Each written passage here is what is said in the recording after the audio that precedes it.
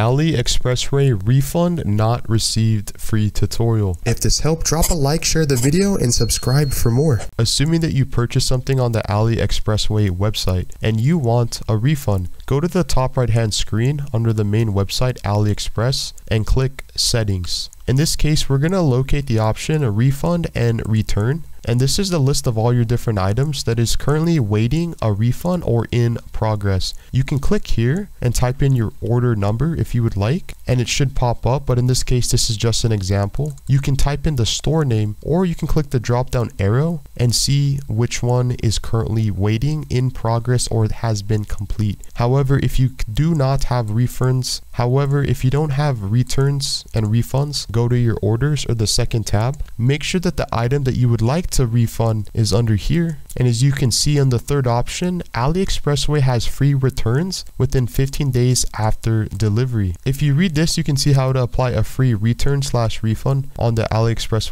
website. Now this might work or this might not, but as you can see here, there are five different steps so that AliExpress will issue you a free refund. But however, if it does not go through, continue reading because there's a couple different scenarios right here of why it might or might not happen. After the refund has been processed and issued, you can see your status, check your return item, and then AliExpress will issue you a free refund or return completely for free.